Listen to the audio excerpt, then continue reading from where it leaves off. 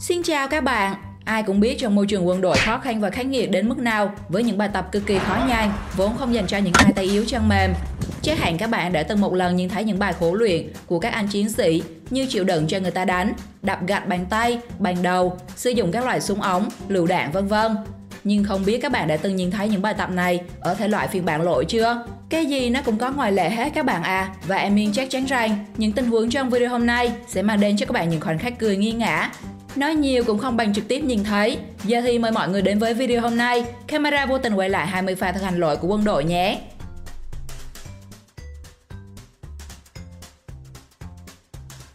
hai mươi, Biểu diễn công phá Hình ảnh dùng tay không chẹt gạt của mấy anh lính đặc công Chắc chẳng còn lại gì đối với chúng ta Nhưng đó là với những người có nội công thâm hậu kìa Còn binh sĩ này chắc là mới vô nghề, Nên dù làm đủ kiểu, viên gà vẫn còn nguyên thách thức Nope.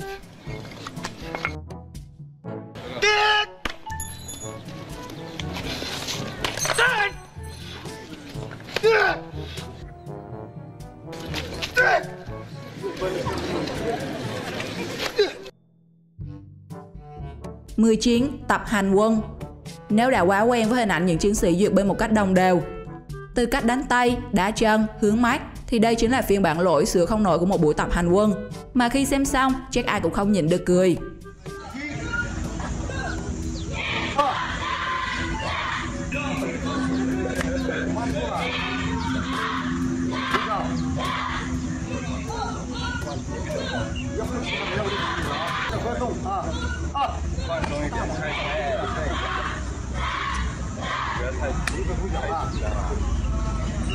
放松，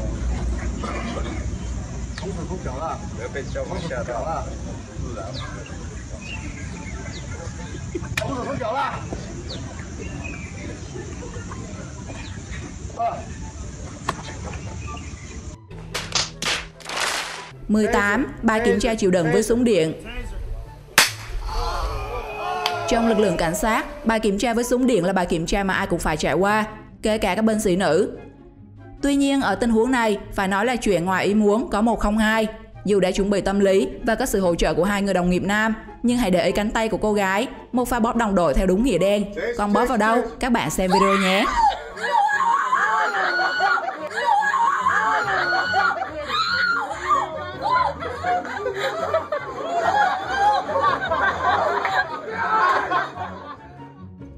Mười bảy Buổi tập nhớ đời trên lưng ngựa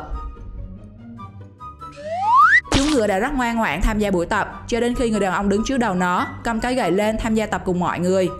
Thế nhưng có lẽ sợ bị đánh khi chiếc gậy cứ quơ quơ trước đầu nên dù chưa kết thúc bài tập, chú ngựa đã bỏ người chạy lấy thân làm cho người đứng trên lưng nó nhận cú ngã nhớ đời. Nope.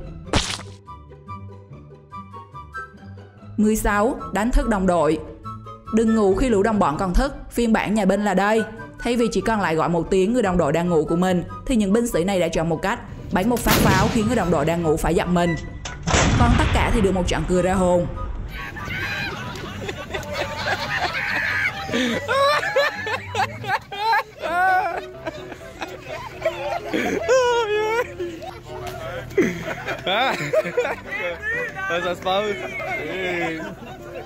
mười lăm súng tốt có lẽ anh chàng binh sĩ này cũng không ngờ khẩu súng lại hoạt động tốt như vậy, không chỉ một phát bắn đi xa, mà còn xử luôn người đứng phía sau bởi khả năng dội người của nó.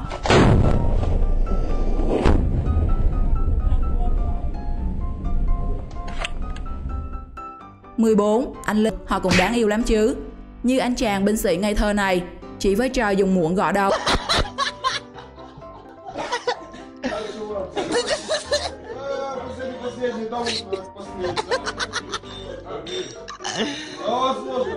13. Bất ngờ Hãy thử tưởng tượng cảnh duyệt binh của quân đội rất đẹp mắt đúng không nào?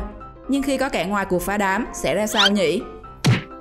Video đã vô tình ghi lại được một cảnh chú chó không biết từ đâu chui ra làm hỗn loạn cả buổi duyệt binh. Hay như chú khỉ trong tình huống này, sự xuất hiện bất ngờ của các con vật đã làm không khí trang nghiêm của quân đội bị xáo trộn.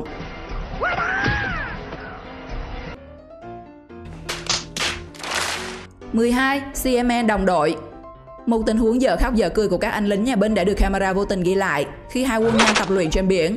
Một người đồng đội đã nổ súng liên tiếp, nhưng vấn đề ở đây là có đến hai vỏ đạn sau khi rời khỏi súng đã bay thẳng vào người anh lính đứng kế bên. Các bạn biết rồi đấy, vỏ đạn khi bắn ra có thể nóng đến 200 độ. Hãy nhìn phản ứng của anh ấy là biết nó chuyện dễ chịu tí nào rồi.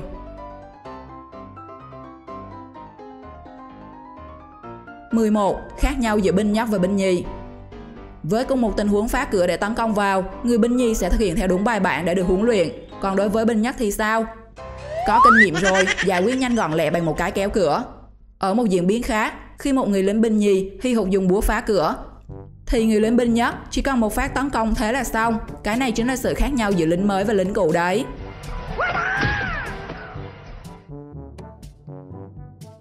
mười Chỉ trình diễn một lần duy nhất Giờ thì chắc các bạn cũng như admin rất ngạc nhiên vì không ngờ rằng tới vũ khí cũng có loại sử dụng một lần như các loại đũa muỗng, tô chén mà chúng ta hay dùng một lần vậy.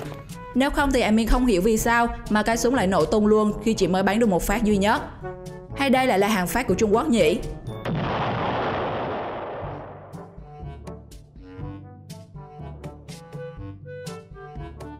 Chiến sai lầm với bài tập vượt tường, nữ binh sĩ trong đoạn video đã phải nhờ đến sự trợ giúp của các đồng nghiệp nam. Sau nhiều cố gắng, cô gái cũng sắp leo lên được bức tường.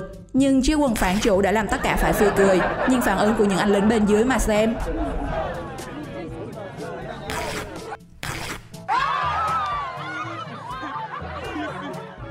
tám Không lường trước Chuyện nhà bên rất khó mà lường trước được, như tình huống trong đoạn clip đã được camera vô tình ghi lại này.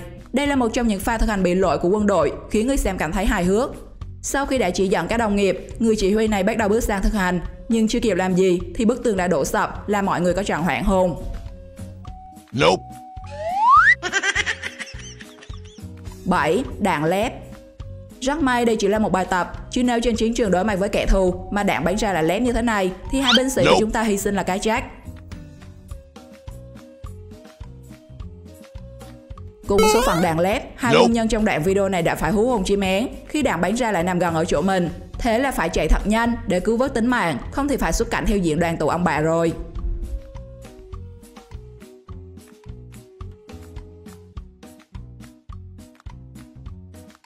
sáu Thể hiện Thể hiện khi không đủ tài năng thì phải chịu mất đi thể hiện thôi. Anh lính trẻ này là thế, phần lộn người không đến đâu, đã bị đau mông, còn bị đồng nghiệp cười cho một trận.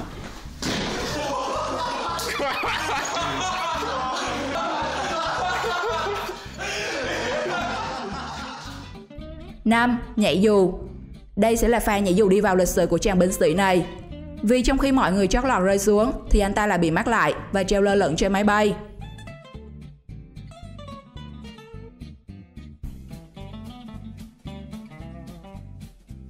bốn Đồng đội Không sợ kẻ địch mạnh, chỉ sợ đồng đội chơi khăm là cụm từ dành cho người chiến sĩ này. Anh ta bị một đồng đội phía sau giật rớt nón, nên tưởng là mình bị định nã đạn bay cả nón nhưng đến khi mọi người cười lên thì anh ta mới phát hiện đây chỉ là một trò đùa quá ác của đồng đội.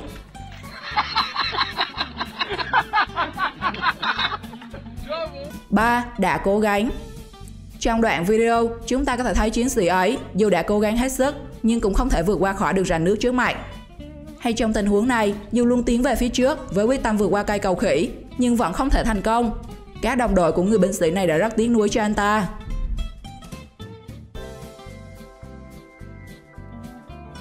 2. Thủy quân Trước khi bị kẻ địch tấn công, người lính thủy quân này đã bị một chú cá tấn công bất ngờ từ dưới nước, làm vang cả cây súng đang cầm trong tay. 1. Múa Hy vọng là những tình huống mà camera vô tình ghi lại được xoay quanh các quân nhân đã mang đến cho các bạn những phút thư giãn trong giai đoạn dịch bệnh hiện nay. Bạn ấn tượng nhất với tình huống nào thì hãy comment bên dưới nhé. Xin chào và hẹn gặp lại các bạn những video sau.